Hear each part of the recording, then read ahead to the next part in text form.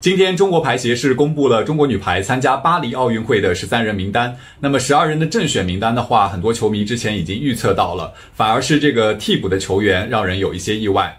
但仔细想一想的话，也不难理解，毕竟像我们主攻位置上现在的几个球员朱婷、张常宁还有吴梦洁，之前都有过一些严重的伤病，所以把这个 P 卡替补球员给到主攻位置上的庄宇珊，这样想一想的话，也不难理解了。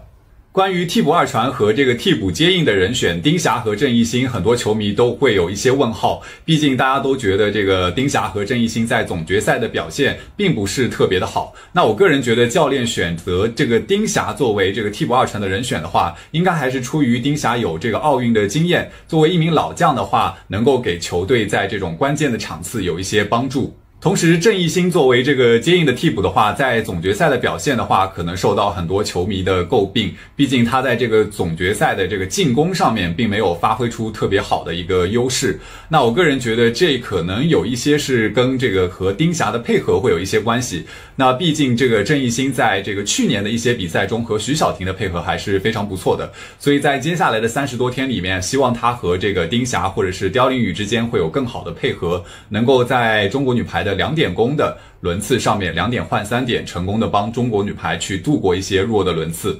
再来聊一聊主攻位置上王云璐的落选。那很多球迷都为王云璐的落选感到可惜，但我个人觉得，其实中国女排主教练蔡斌还是给了王云璐很多的机会。那确实，这个竞技体育就是很残酷的，有的时候在一两场比赛这个表现不够出色的话，就会在这个教练的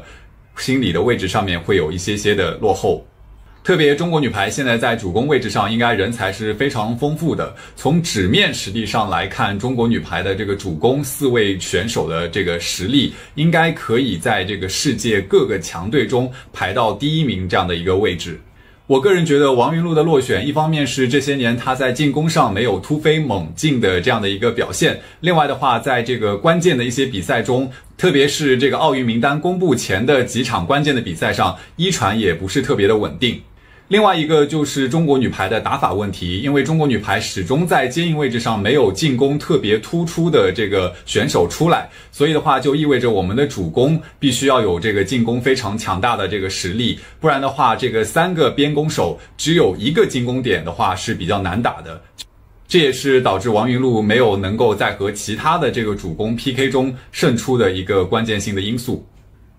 总的来说，我个人觉得，其实这个名单还是非常合理的。作为我们球迷的话，可能每个人心目中都有自己的这个十三人的名单，那也不可能把所有的球迷的这个愿望都照顾到。所以，既然名单已经出来了，我们球迷的话还是要继续支持中国女排，希望中国女排能够在奥运会取得一个不错的成绩。那从这个奥运会的赛程来看，第一场打美国女排是非常重要的，因为这个小组前二的话是一定可以晋级八强的，小组的第三名的话就需要跟其他两个组的这个小组第三去 PK 成绩。那么考虑到另外两组很可能会形成这个连环套，也就是说，这个另外两组的小组第三可能会有这个两场。场的这个胜绩，所以的话，中国女排最好还是能够拿下美国或者是塞尔维亚中的一场，这样才能够去确保能够晋级到八强。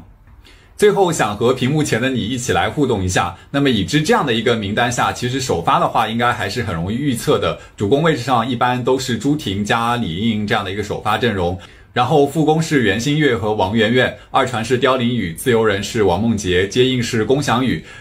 那么你觉得中国女排应该怎样去这个合理的调度或者运用这些替补球员的位置呢？我们一起在评论区。